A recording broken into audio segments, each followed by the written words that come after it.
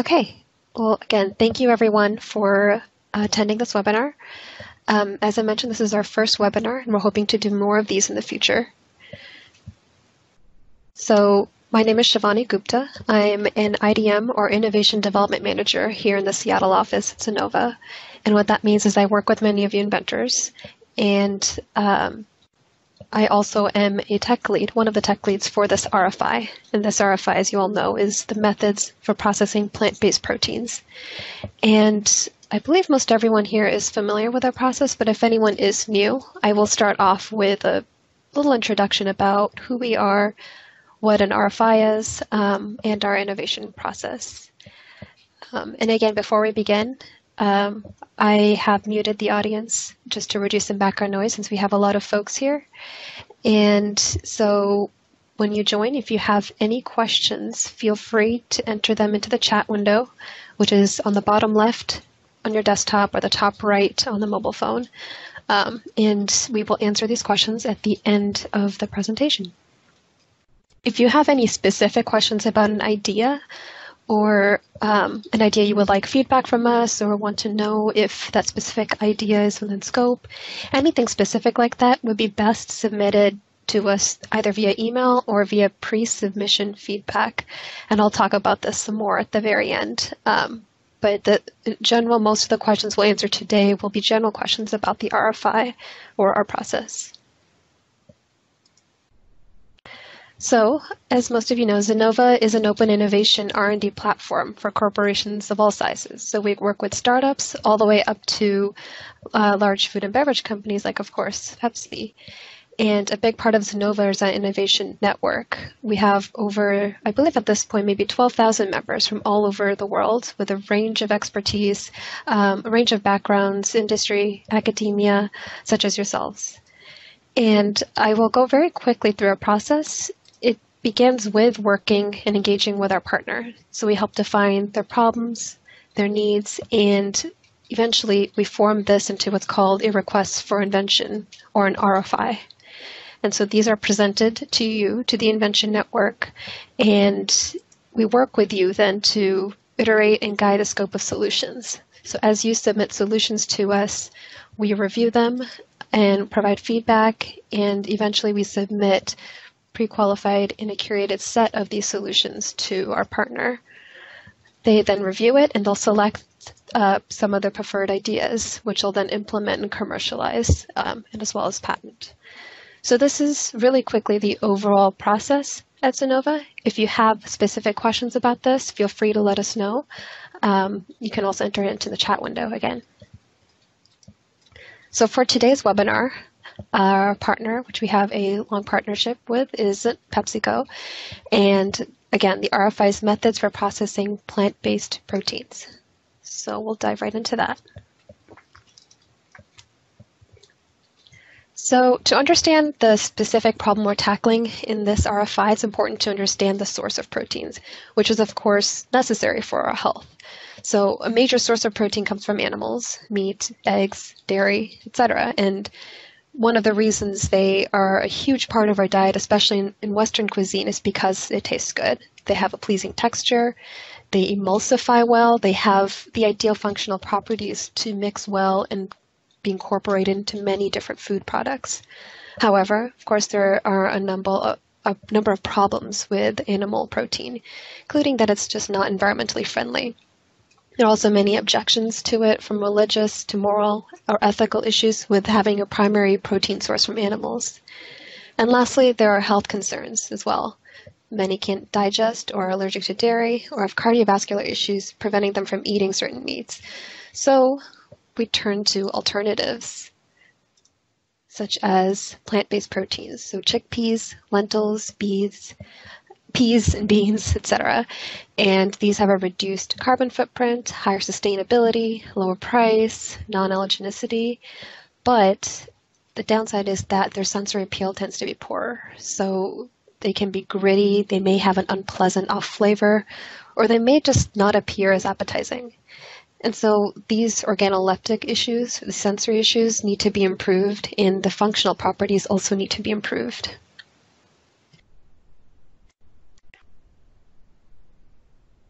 I want to keep in mind uh, that for this RFI, when considering how to modify plant proteins or how to incorporate them, they would be incorporated into foods that would be most relevant to Pepsi.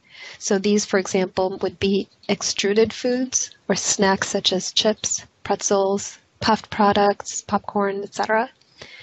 They could uh, be incorporated into beverage-related snacks such as or, or drinks such as protein shakes, protein powder, juices, as well as other snacks such as granola bars and cereals.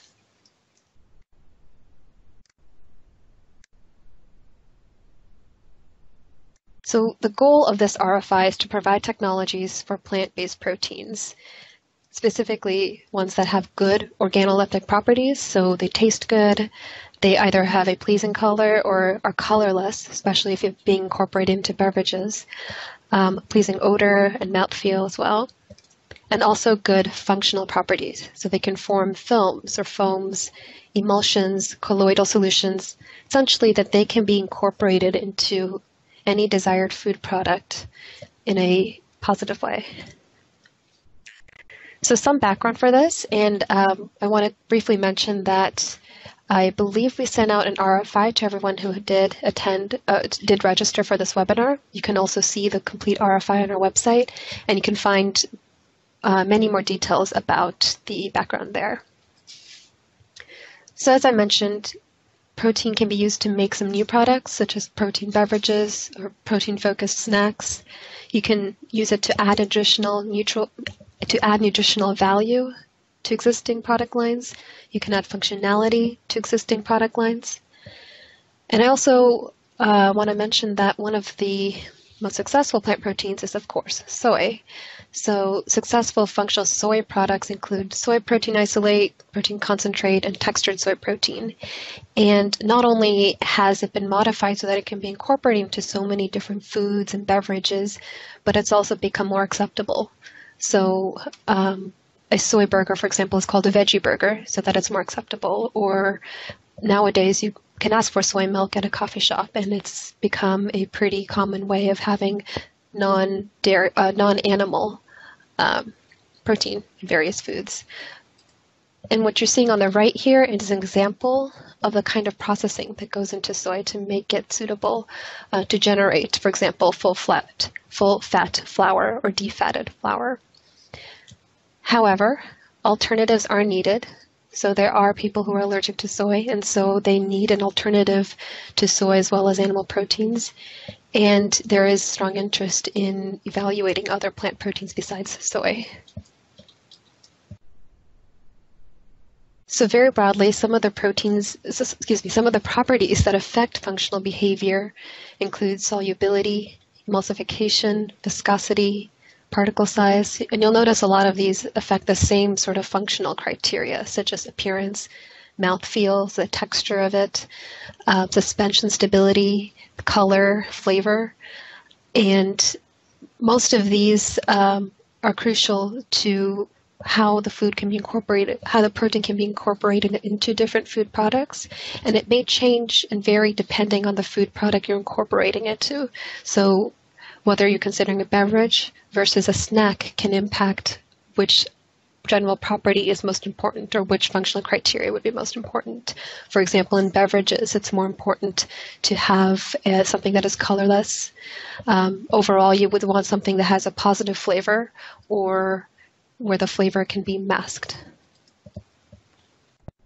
So a couple of the emerging plant proteins that are mentioned in this RFI include pea protein, which has a fairly high protein content of 25%, has a well-balanced amino acid profile with high lysine. You can make pea flour by dry milling dehulled peas. The downside of pea protein is a low emulsification capacity, which comes from the fact that it has low surface charge and low solubility. Um, and again, it's insoluble in neutral pH, and so rehydration is difficult. And this is a common problem across many plant proteins, that they are not soluble at neutral pH. Rice protein is high in sulfur containing amino acids, low in lysine, and so it tends to pair very well with pea protein. Um, its downside is that it's slightly bitter to taste, and that taste is actually difficult to mask. There's also oat protein, which has a slightly lower protein content and a less balanced amino acid profile, but it does have high fiber and good emulsifying and binding properties. But once again, it has poor solubility at normal or slightly acidic pH. So these are some of the plant proteins. Um, there are others, and the others are not excluded from the scope of this RFI, um, except for soy, which I will mention later. So some of the current technologies used, uh, most commonly used for soy, but some have been tested with other plant proteins. Uh, this includes applying heat. So thermal techniques are used to break down the protein structure to denature the protein. For example, steam infusion of soy protein isolate can improve its solubility, foaming, and emulsifying properties. Applying high pressure can give some of the same results without the heat. So, for example, it can stabilize emulsions. It is, however, strongly pH dependent. Ultrasound is also used to improve foaming capacity, increase solubility and stability, and it does this by changing the conformation of the protein as well as reducing molecular weight. Several separation techniques include isoelectric precipitation, which separates proteins based on their pH. This is used, for example, with casein for cheese making, and is also used to precipitate soy protein isolate. Ultrafiltration is another separation technique, and it's used to separate um, items based uh, using a membrane and pressure differential. And for example, it's used to remove lactose from casein in milk. You can also use various enzymes to either create smaller or larger molecules or aggregates. So for example, glutaminase is used to increase solubility for soy protein isolate. And chemical modification can also be used to increase or improve some kind of functional property. So for example, succinylation leads to improved solubility, better water, and fat binding. I do want to note that for some of these methods uh, that involve certain reagents that may not be safe for food, um, you might want to keep in mind that those, of course, would probably not be acceptable. So uh, I will mention this towards the end as well, but reagents do need to be considered safe for use in food, of course. So moving on, some more current technologies include applying short, high-powered pulses, so pulsed electric field, and this can increase hydrophobicity and affect uh, protein solubility as the proteins unfold. A somewhat newer method is supercritical fluid extrusion. Uh, this appears to decrease protein solubility but increase emulsion stability, and there are limited studies with this, so looks like there's some room to explore the potential of this with various plant proteins cold atmospheric plasma processing. It's most often used uh, as a sanitization method or to ensure microbial product safety, but it can also modify surface energy. Microfluidization is basically another uh, high pressure homogenization method, so it results in uniform particle reduction. It's another way to homogenize milk, and when used with pea protein isolate, you can form cold set gels. The Maillard reaction is a covalent coupling between protein and sugar, and it can improve some functional properties. So, for example, soy protein isolate uh, covalently coupled with maltodextrin results in improved solubility and foaming properties. And lastly, tribomechanical activation uh, is a technique that also results in small uniform particles, although at lower temperatures. And one example where this is used is with whey protein isolate, which is also stabilized. So every RFI that we publish includes what's called a, a scoping section or an invention suggestions section. It tends to be at the end of the RFI, so you do have to flip through to get to it. And we cover some of the scope of the RFI. So for this particular RFI, what's in scope would be solutions for technologies for plant protein products, especially pea, chickpea, rice, oat, although it's not limited to just those plant proteins. What's out of scope, though, are soy products. So we're not interested in improvements to soy, um, which is already quite successful. as I mentioned before, we're also not interested in any reagent that may not be considered GRAS or generally recognized as safe. Uh, that's a term used in the US, but there's similar, regula- similar regulations everywhere else for basically unsafe uh, reagents. So using organic solvent-based technologies also would be out of scope. And lastly, this is for food, and food should taste good. So any uh, modification or plant protein that has a poor taste, where the taste is not improved, would be out of scope. So it should either be flavorless or it should be easy to mask its flavor if it isn't pleasant. So that's something to keep in mind, uh, given that this is going into food and beverages. So some of the technologies, the specific things that we're looking for include methods to increase solubility of plant protein. Um, you notice I mentioned many techniques do that, many plant proteins suffer from this problem, particularly between pH of 3.5 and 7. We're also looking for methods of increasing colloidal stability, especially of low pH beverages that have plant proteins. We're looking to improve foaming agents made with plant proteins. So this would be used in meringue type products or extruded fried snacks. We're looking to imp- for improved texture of extruded foods snacks. Um, many uh, plant proteins that um, many flours generated from plant proteins can also be used in baked products. And so to successfully use it in baked products, we're looking for methods that help preserve volume and crumb structure. Um, often when you use these alternative flours, they don't, um, they're not quite as starchy as wheat flour, for example, and so the result is not as, um, definitely not as pleasant. And lastly, we're looking for reduced astringency in plant proteins.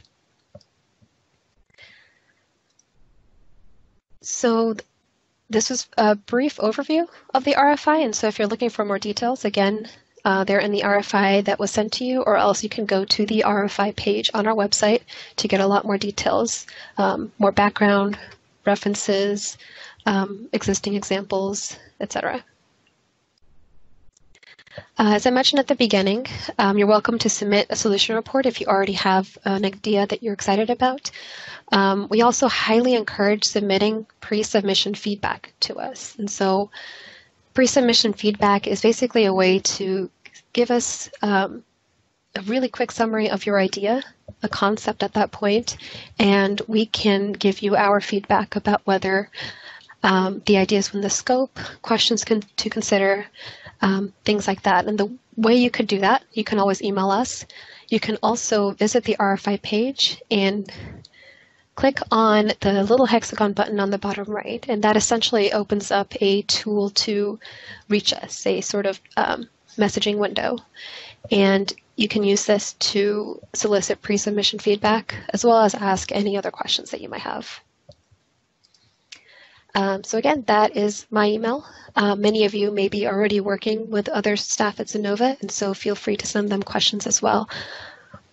So with that, I will open this up to some questions.